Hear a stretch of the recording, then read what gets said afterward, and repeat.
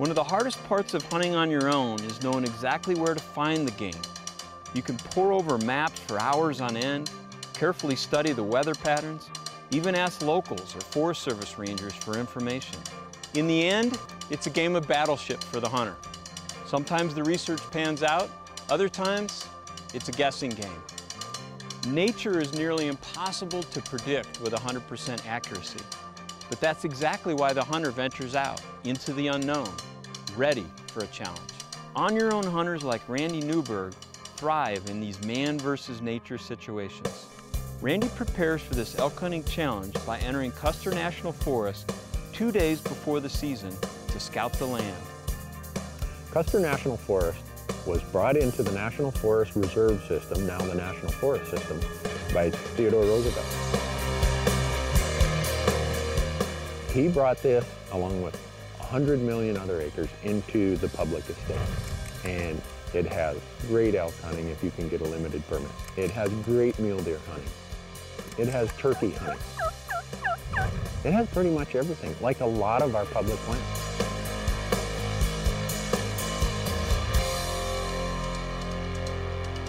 Last spring, I'd been turkey hunting here, and I saw a lot of really good elk sheds. And I said, you know, this country lends itself to really cool elk hunting. I'd like to come and try it. This is a classic spot for in the rut. Normally you'd see trees like this just rubbed all, all down, but not today. A lot of people will email and say, how do you determine where you're gonna hunt? First thing I do is I grab the map and I say, where is it gonna be the most difficult for people to get into, either because of terrain or because of lack of roads? All of my effort gets focused on that to start with. Forest Service property line is just about straight west. I'm just gonna keep going on these ridges, glassing down in, see what I can see. So I put my name in the hat and the limited entry draw, the odds are like one in 12. I'm thinking, yeah, hardly worth the stamp I'm putting on the envelope. And I drew, I, I, was like, wow. But if I hadn't been here turkey hunting and doing that in the spring, I probably would have never applied here. I would have never thought about elk being here. Right now, it's a mess. It's hiding in this grove of trees here, trying to get out of the wind for a while. I really can't glass. The rain messes up your visibility. You can't see more than about six or 700 yards. For those of you non-residents who are thinking of doing this, the first thing you gotta do is you gotta get your Montana General Elk Tag. The deadline for that is March 15th. Once you draw that, you can put into the limited elk permit draws, which this is, with all of us residents. And if you draw, you could have come and done the same thing that I did. Weather forecast it. Four more days of rain. Which, if it got cold enough and snowed, that would be unbelievable good fortune for hunting. This was a hunt where I'd never been here elk hunting before. And I said, I got to give myself as many days as possible to scout. So I came over two days before season and I scouted. I had this spot, I said, this is where there's gonna be a big bull. I went in there two days of scouting. I did not see a bull. I didn't see an elk. My buddy Bart May is supposed to be joining me, but he couldn't make it. I'm hoping he's gonna get here tomorrow night. Right now I'm doing it solo. When it's this frustrating, it's nice to have another guy to hunt with. It just kind of brings your spirits up. And I'll see what I can find. Hopefully I find at least one more elk than I found in two days of scouting.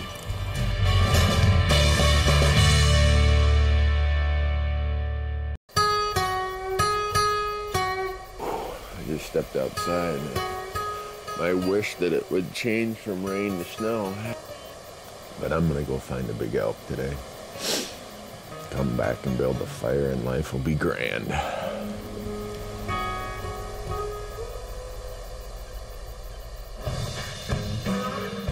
gotta drive my ATV for over an hour in this stuff.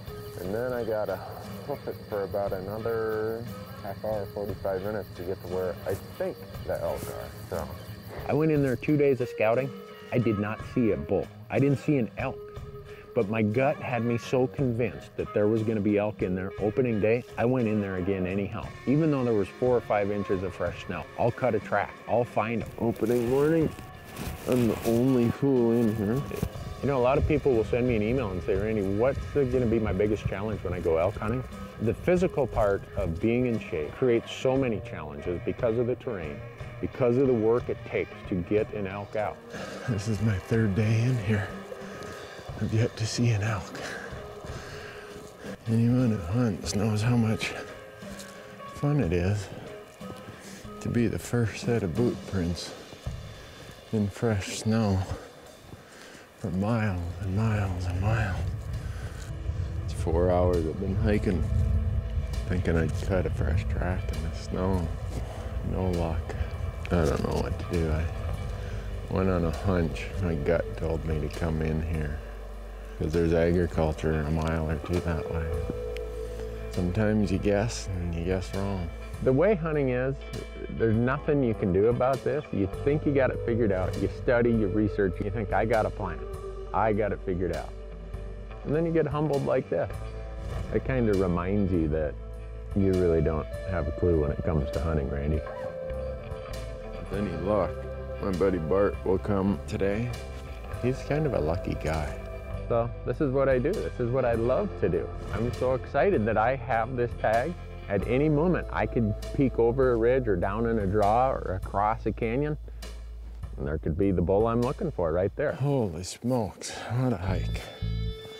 So many people look at the intimidation of a Western big game hunt, of doing it on their own. Seven hours, pretty much non-stop, non-stop.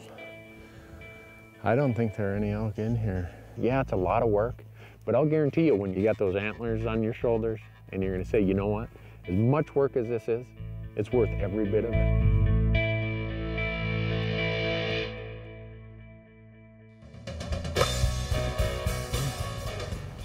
Uh, Bart's here. By the time he gets here. I'm Bart May. I'm a friend of Randy Newberg's, and I guess I'm the extra eyes and packer boy. What took you so long, Bart? the muddy road getting in here. For me, hunting with someone else provides a whole nother set of benefits. And when I came back to camp, I was completely wore out, physically and mentally. That afternoon when Bart showed up, all of a sudden the excitement level came back up, the enthusiasm, the optimism. I went on the longest hike this morning. Anything? Nope. I think there's some allure with hunting season or fishing season. There's an opening day to each one of those that people just get, it's a tradition, you know, it's, and it's deep rooted. I, I went and looked at some other places south of here, about 40 miles. They just looked like really good elk country.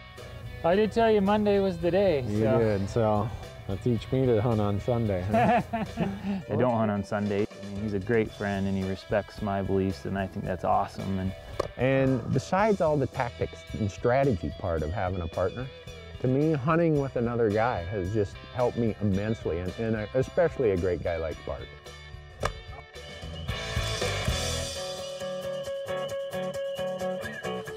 oatmeal out of the bag. I hate doing dishes. Well, the second morning, we went to a spot that I'd scouted, but I knew you couldn't get in there because the roads were so bad. I wasn't gonna walk four miles at that point. So Bart says, Wonder if we could trailer the four wheelers down there I think and get out on the roads. early when it's frozen, but know that when you come out, moisture comes up, it's gonna be a disaster. But so what we did is we took the ATVs on a road that's open to driving your pickup, but it still was really, really bad. On Sunday, on the opening day of rifle season in Montana, that people were struggling to get around. It made our game plan a lot different, so we decided to go try an area that, that had a lot of roads, but it had a potential to have elk in it. One thing that does happen with the amount of ATV use on these public lands is you're gonna have other hunters getting further back and further back as long as there are open trails and open roads. But some places are so heavily roaded, you can hardly get away from all the trails and roads. This would be a classic example of that. And so you just go and hunt.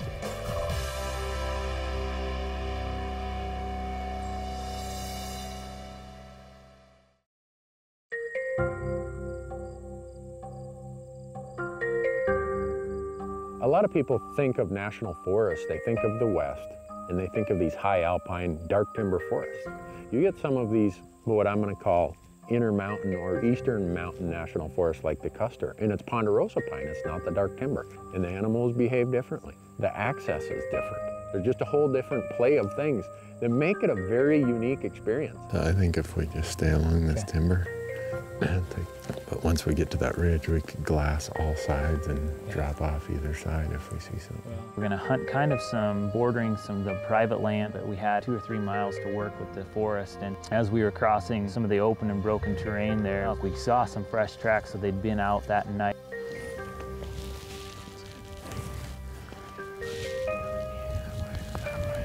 But we're out in this wide open middle of nope. We're gonna circle up on top of that ridge So we continue to walk, continue to walk, and now we know that the, these tracks on that crusted snow are so flaky that we know that there are elk there. We gotta get back out of here. Yeah, we gotta get back out of here fast. We don't have any vegetation, no cover other than just the topography and terrain. So we come back over the ridge and we use just the, the undulations of the terrain. The one looks like a bull, and just by color, I mean, I didn't couldn't see. As close as we could get is 600 yards. Got one down in the bottom. Let's let's inch that way to use that big one as our shield, Yeah. and then Let's do and then that. try so we cut back around the back of the hill to get some cover and kind of used a couple big huge ponderosa trees as a shield and and worked our way up on this knob And within 10 minutes, they all bedded down. They did it where the wind's coming over the crest of the ridge so they can smell you coming from behind and they can look down and see everything in front of them. Welcome to the world of on your own adventures. we couldn't move if we were to move down to get some cover we had to go about 125 yards before we were out of sight so we sat there a long time So we're sitting there thinking, now what do we do? The wind's starting to blow, we're starting to get cold from the hike in there. I'm about ready to just drop down here and see if I can get across. The bull is walking up the hill. Bart says, don't you have an antelope tag? We'll look over there. And I look over there and here's a group of antelope coming right towards us. I know this was a risk. We leave the cover of that ponderosa tree and I go up over this ridge. Well, everyone who knows me knows that even if there's a big bull bedded 600 yards away, if that antelope comes within shooting range, I'm gonna shoot that antelope. And those antelope all bunch up, and I didn't dare shoot because I'm afraid, all right, I'm gonna kill more than one antelope. The benefit of that was it showed us that those elk weren't that afraid of what we were doing. We had to make a big, almost mile long loop to get back here and stay out of their sight. Bart left his rifle, his back. I left my back. Just out of frustration more than anything, I asked Bart, do you think you could cow call and get that bull to bugle? finally decided that it was we were going to try to make a move in to get down into the timber instead of waiting you know seven or eight hours so we get down into some cover I'm gonna go try to cow call. Okay. Just see. The good part is if he tries to, if he tries to circle down, downwind, he's got to come right in that opening. He ain't gonna go in that opening. sure enough i decided to scoot back and started cow calling and then that bull just started screaming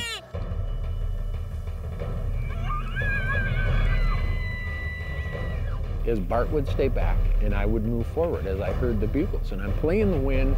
I'm trying to figure out where are these elk. Get up on this bench that kind of comes around behind them. And all of a sudden that bull comes up maybe 80, 100 yards below me and just hmm, lets out a bugle. I'm like, holy cow, this could happen.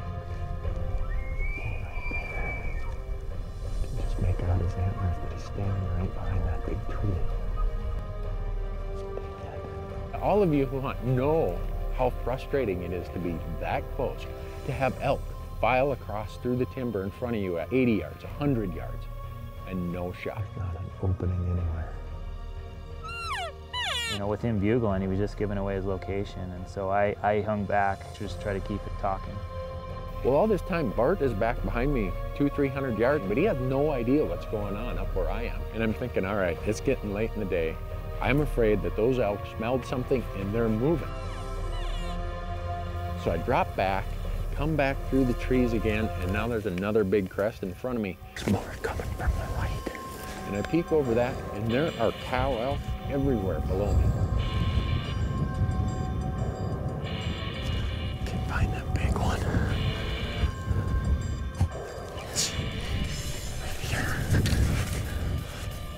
Boom, I see him come out from down below me. And he's pushing the same small cow again, and they're moving out there. He's walking straight away. And every elk here's looking at me. And at this point, I'm like, oh, this is not gonna work out. I, here's my one chance, down the tubes. I can't shoot.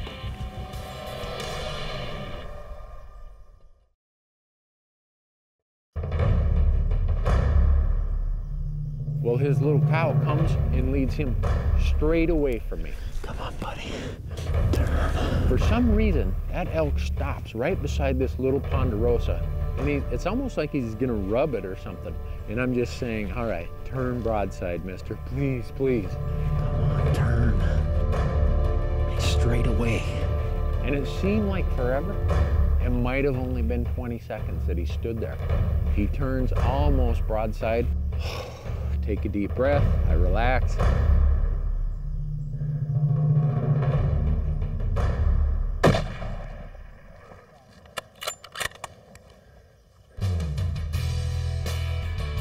Where'd he go? I don't see him. He ran in those trees. There go the rest of them, but I don't see him. I made a great shot, perfectly right behind the front shoulder. But all this time, Bart is behind me. He has no idea what's going on. I cow called and he kind of whistled to me um, and I knew I was really close to him and so I ran up there and I was like, gosh, are you seeing those elk? Was that you that shot? And then I heard you shoot and I was like, I didn't know if you were on that group or... They were all right down here, under the left. Really? Yeah. I'm like, Bart, you are not going to believe what happened. How just frustrating and exhilarating and exciting this was. I, I hope he's laying down there.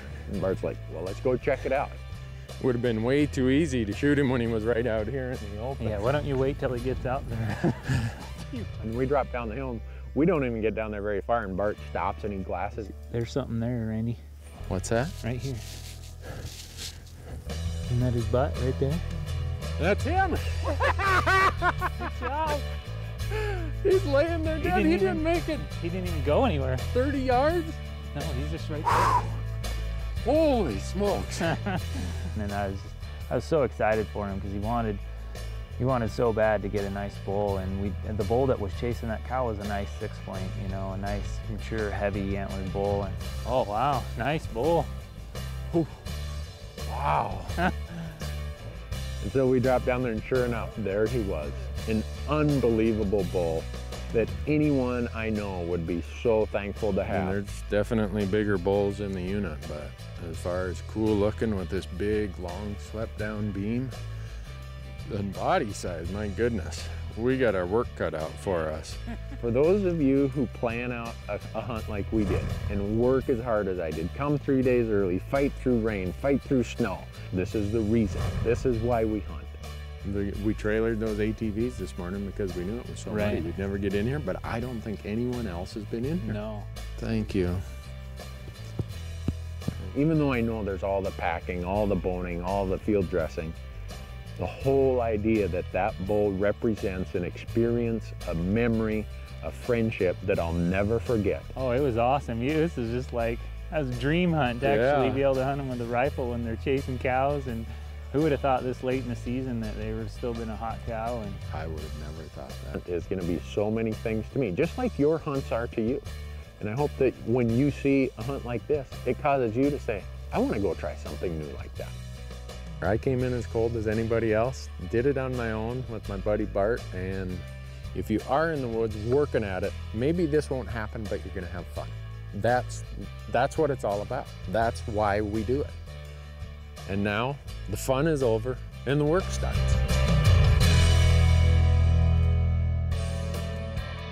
After feeling discouraged by some unsuccessful scouting, Randy's spirits were lifted by hunting buddy Bart.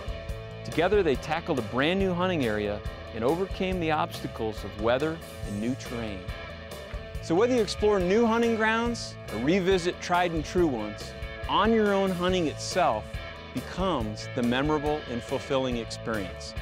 And the very best part of any on your own adventure is that it's completely accessible and completely achievable by you, the real American hunter.